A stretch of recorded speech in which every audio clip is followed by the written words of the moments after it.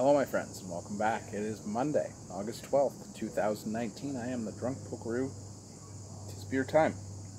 So we're playing Drink the Fridge. We got like three or four days left to do this. We're very, being very successful. There's We've cleared a lot of beer out. Um, so the one rule was it wasn't about drinking the cellar beers. It wasn't about taking the beers out of like the cellar section where we put beers, you know, like big boozy bastards that we're saving for later in the year, just treats, you know, like the, the big ABV beers. However, if one of those beers happened to be in the fridge when we started this, I was more than comfortable to drink it because that meant it was in the fridge for a reason. It was put in there to be drunk. It wasn't there randomly because whenever I have a cellar beer, it goes right in the cellar. There's a, it's not a lot of beers. There's maybe 30, 34, 30, 40 beers down there that are saving for, you know, eh, not special occasions, but nice days. I'll probably drink one this week. So, Spencer, the only Trappist monk brewery in uh, America, one of the few outside of Belgium. Uh, we got this Decemberish. Uh, it's their Imperial Stout, 9%, 8.7% ABV. It's at a Massachusetts. And yeah, best before 08, 02, 20. So we're still in that range, but uh, as much as, you know, I probably should have put it in the cellar, it's in the fridge. It's in the fridge, fair game. I even got a glass. They sent me a glass. Well, no, the, the importer sent me a glass. That was nice of them. And a couple of beers. Probably this one. Um, so yeah, so it's just been sitting there, and I'm like, eh, might as well. I mean, take advantage of the fact that I, I put it in the fridge and forgot about it.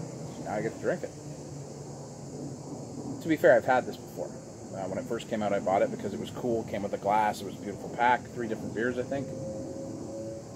So nice, dark roast, dark roasted chocolate notes little bit of coffee, maybe some licorice, light smoke. Okay, let's go. Cheers, my friends, to, to drink the fridge. Sometimes you get a big, a boozy. I'll buy a stir.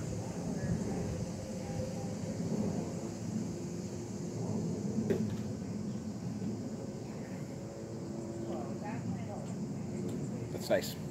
That's aged quite nicely. I think probably got this in late 2018. So 8, 9, 10 months old. Or maybe a little older since it's been brewed, I don't know. Um, still very rich uh, dark chocolate, bitter coffee.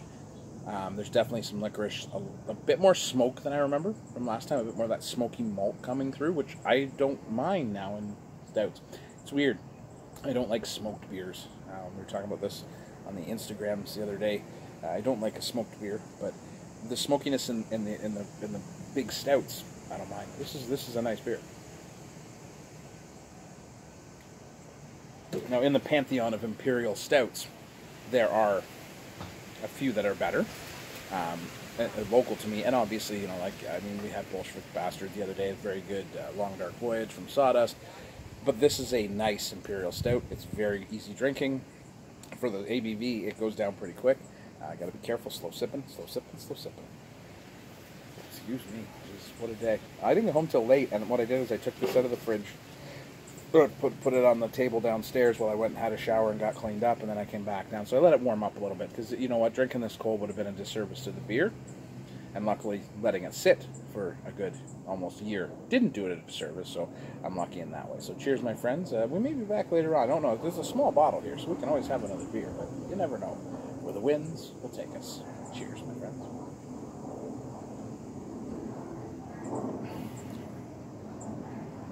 It's monking good.